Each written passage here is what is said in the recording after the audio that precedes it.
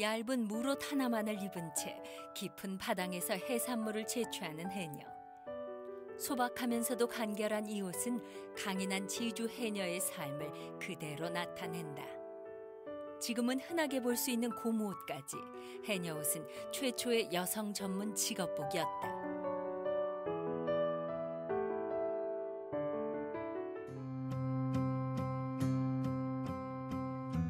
오래전 해녀들의 작업복은 천으로 만든 물옷이었다. 그렇다면 물옷은 언제부터 입었을까? 조선시대 탐나 술력도 병담 범주에는 지금의 용연에서 물소중이와 비슷한 옷을 입고 잠수하는 해녀의 모습이 그려져 있다. 언제부터 그걸 입었는지는 좀 더 앞으로 더 연구를 해봐야 되겠지만 자료가 자료의 한계 때문에 아직까지 그 발생 연도가 언제부터라고는 어, 얘기할 수는 없지만 다만 1702년도의 그림이기 때문에 그때도 입어졌다라고 생각을 합니다. 그래서 그 후로 쭉 70년대까지 입어져 왔는데 이제 고무옷으로 대체됐고요. 몸을 가리고 최소한의 체온을 유지시켜 주었던 물옷은 제주 해녀의 상징이었다. 물옷은 해녀들이 손수 지어 입었다. 물자가 넉넉치 않던 시절이어서 값이 싼 무명이나 광목천으로 만들었다.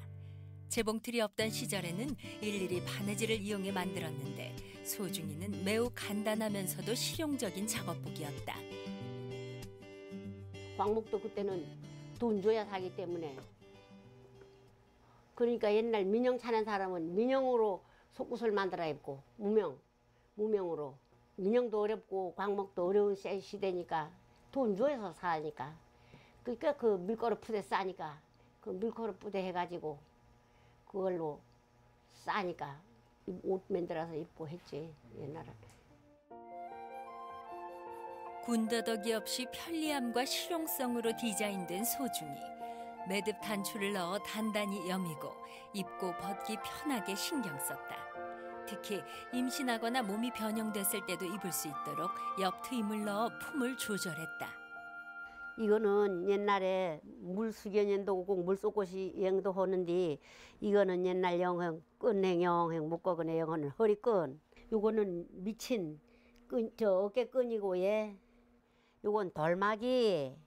이 덜마기에 넣은 거는 옛날에 이거 영형 설진 사람은 수견도 오면 조금은 이거 영형 이끈 호금영 늦창도 하고 또 너미 큰 사람은 호금영 뻗땅하고 요건 덜마기 이 덜마기에 넣은 거는 옛날에 이거 영형 설진 사람은 수견도 오면 조금은 이거 영형 이끈 호금영 늦창도 하고 또 너미 큰 사람은 호금영 뻗땅하고 물에들이 멍hen 맞춤멍hen 해나수게 옛날 어려운 시절에는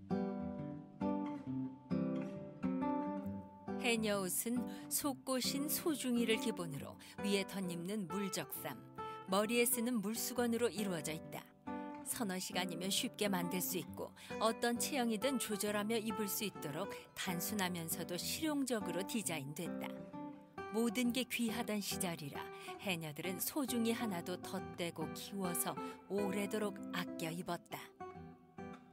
일제시대 들어서면서 바닷물에 질긴 광목이 나오고 때가 덜 타도록 검은 염색물이 들기도 했다.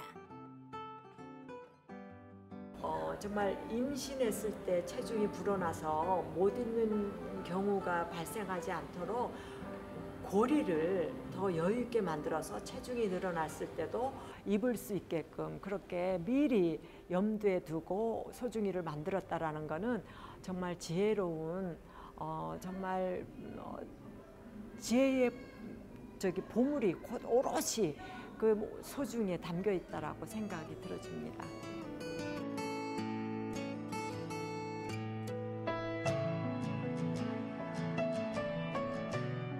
소중이를 입은 해녀들은 거칠 것 없이 가뿐하게 제주 바다를 헤엄쳐 다녔다. 몸을 가려주고 어느 정도 체온도 지켜주는 소중한 옷이었다. 게다가 가벼워 몸놀림에 부담이 없고 자유로웠다.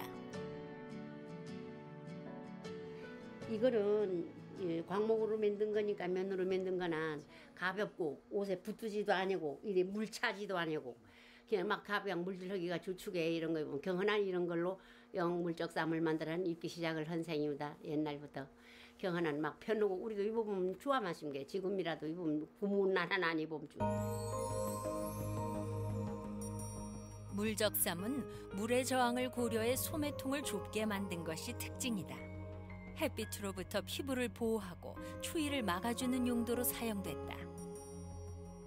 물에 들어갔을 때 작업할 때도 편해야 되고 그 다음에 입고 벗기에도 편해야 되고 그런 면에서 어, 정말 물에 들어갔을 때 작업하는데 걸림돌이 되지 않고 또 무트로 나왔을 때 옷을 갈아입을 때도 신체를 다 드러내지 않고 갈아입을 수 있는 그런 정말 조냥 정신과 실용성과 편리성 이 모든 것이 아우러진 정말 지혜로운 전문 직업복이 아닌가 이렇게 생각을 합니다.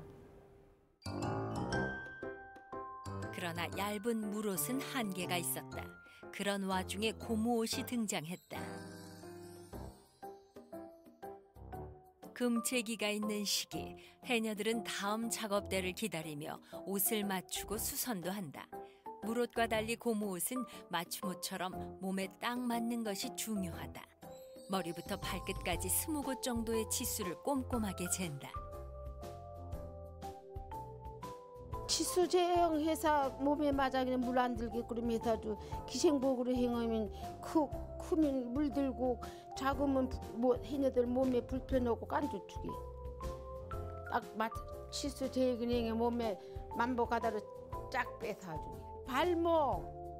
발목도 손목 목 같은 거 그런데 신경 써줘야 물안 저어주 그거는 거 조금 크면은 그런 저, 저 그런 목으로 물들고 손목으로 물들면 막 해녀들 불편해주게. 일본에서 들여온 고무 원단을 이용해 만드는데 서너 시간이면 한 벌이 완성된다. 재단을 마친 후에는 특수 접착제를 발라 손으로 눌러가며 붙여준다. 스쿠버 옷과 달라 해녀 옷은 4, 5mm 남짓한 두께의 원단을 사용한다.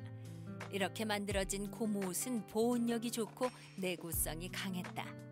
더 깊고 더 오래 물질이 가능하도록 만들어준 고무 옷은 해녀들의 작업 환경에 큰 변화를 가져온다. 물소중에 입은 데서 한 시간도 못 살아나 주게. 기원이게 이거는 네 시간, 세 시간은 세 시간까지 네 시간 하여사는 네 시간까지 사람 주게. 소중히 물 소중히 입어서 한 시간도 못 살아 달달달달 탈먹 나오고. 아이고 뭐냐 마당에 검질 걸면 그거 헌중 저방 구덕들이랑 저거네 강 그거 오르르 캡을 매기면 딴딴딴딴딴 털어놔서 아이고 고무옷으로 추위에 오래 견딜 수 있게 되면서 겨울에도 물질이 가능해졌다. 그러나 고무옷으로 인해 작업 시간이 길어지고 수확량이 많아지면서 뜻하지 않은 문제가 발생했다. 해녀들 간 작업량의 차이가 생기고 오랜 작업으로 잠수병도 생기는가 하면 배의 수확량으로 인한 바다 자원의 지속성도 고민해야 했다.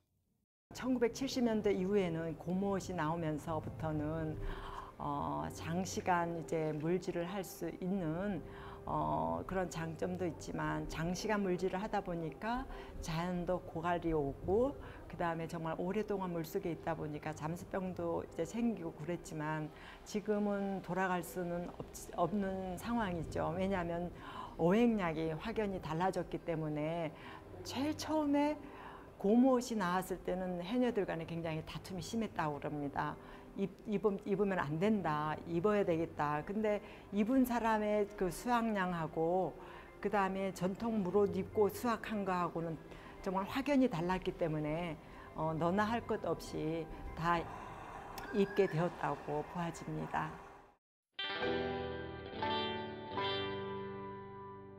물소중이 하나만을 입고 차고 깊은 바다에 뛰어들었던 지주 해녀. 소중이는 그 바다에서 건져올린 해녀들의 강인한 삶을 그대로 보여준다. 세월이 흘러 옷은 정교해지고 작업 환경도 변했지만 그 바다에서 숨 참은 만큼 건져 올리는 해녀들의 가치는 오래도록 영원하다.